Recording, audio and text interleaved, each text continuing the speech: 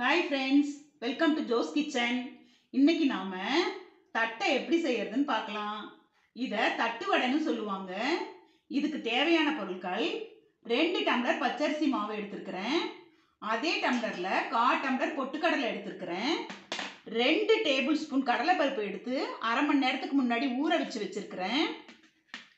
ரெண்டு கட்டி பூண்டு எடுத்திருக்கிறேன். ஏழு வரமிளகாய் எடுத்திருக்கிறேன். கொஞ்சம் காய பவுடரு தேவையான அளவு உப்பு. பொட்டுக்கடலையை மிக்ஸி ஜாரில் போட்டு நைஸாக அரைச்சி எடுத்துட்டு வரேன் ஃப்ரெண்ட்ஸ் இது வீட்டில் உள்ள பச்சரிசி மாவு ஃப்ரெண்ட்ஸ் கடையில் விற்கிற இடியாப்ப மாவுலையும் செய்யலாம். காட்டம்பர் பொட்டுக்கடலையை நைஸாக மிக்ஸி ஜாரில் போட்டு பவுட்ரு பண்ணி எடுத்துகிட்டு வந்திருக்கேன். அதையும் இந்த அரிசி மாவோட சேர்த்துக்கோங்க.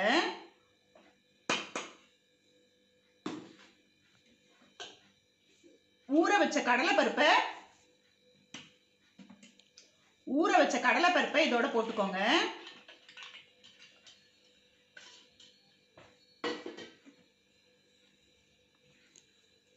ஒரு பிஞ்ச் காய பவுடர் போட்டுக்கோங்க.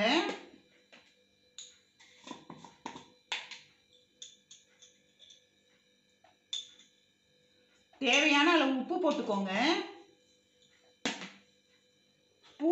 மிளகாயையும் மிக்சியில் போட்டு அடித்து எடுத்துகிட்டு வந்து இந்த பேஸ்ட்டையும் இதோடு சேர்ந்து கலந்து பிசைஞ்சு எடுத்துகிட்டு வரலாம் ஃப்ரெண்ட்ஸ் ரெண்டு டேபிள் ஸ்பூன் எண்ணெயை காய வச்சு இதில் ஊற்றி பிசைஞ்சு எடுத்துகிட்டு வரணும் ஃப்ரெண்ட்ஸ்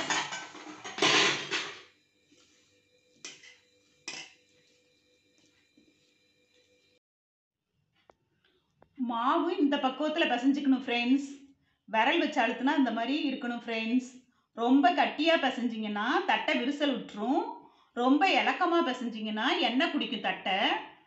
இதை வந்து ஒரு ஈர துணி போட்டு மூடி வச்சுக்கணும் ஃப்ரெண்ட்ஸ் ஓரமாக கொஞ்சம் கொஞ்சமாக மாவு எடுத்து உருட்டி இப்போ தட்டை தட்டிட்டு வரலாம் ஃப்ரெண்ட்ஸ் ஒரு திக்கான கவர் எடுத்து இதை மாதிரி கட் பண்ணி வச்சுக்கோங்க ஃப்ரெண்ட்ஸ் பால் கவர் கூட இருக்கலாம் ஃப்ரெண்ட்ஸ் இந்த கவரில் லைட்டாக எண்ணெய் ஊற்றி இந்த மாதிரி தடவிக்கோங்க. மாவை எடுத்து நல்லா உருட்டி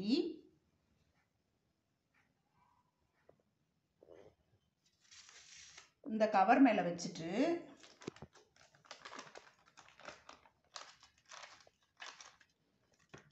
இந்த டவராவை வச்சு இப்படி நல்லா அழுத்திக்கோங்க.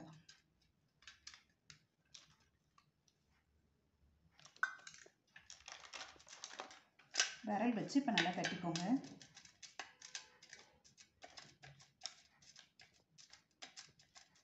நல்லா மெல்லிசாக தட்டினோன்னே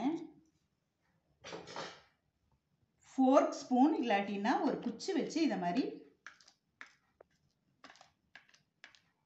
ஓட்டை உழுகிற மாதிரி பண்ணிக்கோங்க.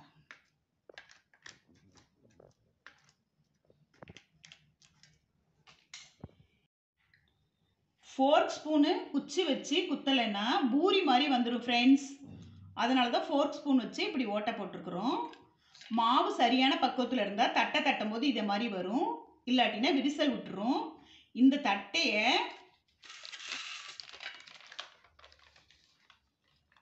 ஈர துணி மேலே இந்த மாதிரி எடுத்து வச்சுக்கோங்க. இன்னொன்று செஞ்சு காமிக்கிறேன்.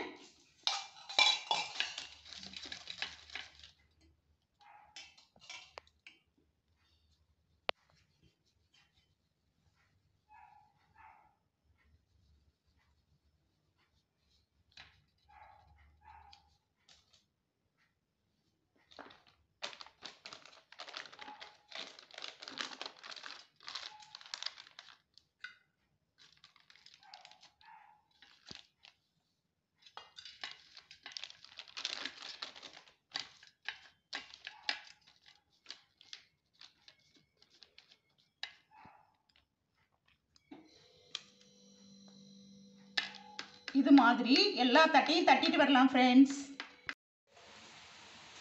அடுப்பை ஆன் பண்ணி வானலியை வச்சு எண்ணெய் ஊற்றி காய வச்சு வச்சுருக்கேன் ஃப்ரெண்ட்ஸ் மாவை போட்டிங்கன்னா இந்த இப்படி மேலே வரணும். எண்ணெய் காஞ்சிருச்சுன்னு தெரியுது.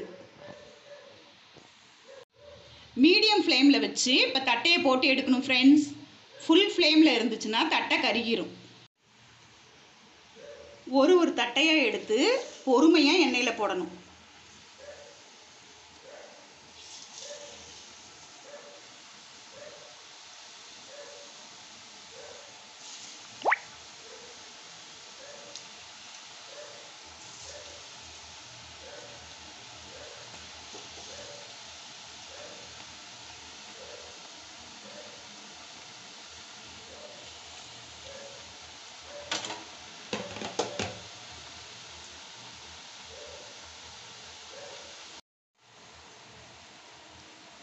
தட்டை மேலே வந்தோடனே இப்படி திருப்பி போடணும் ஃப்ரெண்ட்ஸ்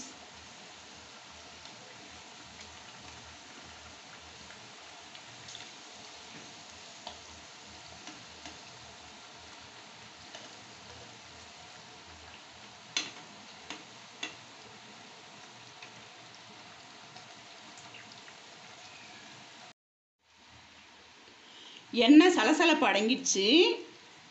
எண்ணெயை வடித்து தட்டையை எடுத்துடணும். இதே மாதிரி எல்லா தட்டையும் எடுத்து போட்டு வரேன்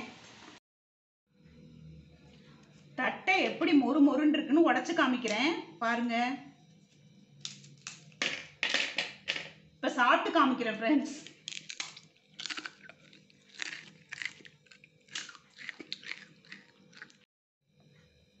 மொறு மொறுன்னு பேக்கரி ஸ்டைல் தட்டை ரெடி ரெண்டு டம்ளர் மாவுக்கு மீடியம் சைஸாக அறுபது தட்டை வந்திருக்குது. இதை ஏர்டைட் கண்டெய்னரில் போட்டுக்கோங்க. இல்லாட்டினா இது மாதிரி சம்பளத்தில் போட்டு டைட்டாக மூடி வச்சுக்கிட்டிங்கன்னா ஒரு மாதம் வரைக்கும் அப்படியே இருக்கும்.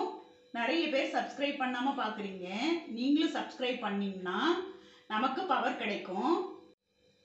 லைக் பண்ணுங்கள் ஷேர் பண்ணுங்கள் கமெண்ட் பண்ணுங்கள் சப்ஸ்கிரைப் பண்ணுங்கள் மறக்காமல் பெல் ஐக்கானை கிளிக் பண்ணுங்கள் தேங்க்யூ பாய்